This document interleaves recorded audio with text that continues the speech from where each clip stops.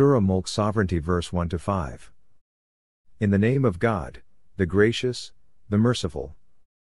Blessed is he in whose hand is the sovereignty, and who has power over everything. He who created death and life, to test you, as to which of you is better in conduct. He is the Almighty, the forgiving.